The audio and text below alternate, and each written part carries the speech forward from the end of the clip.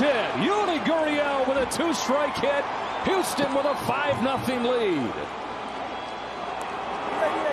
They went 15 innings without a run. They strike for five in this inning alone.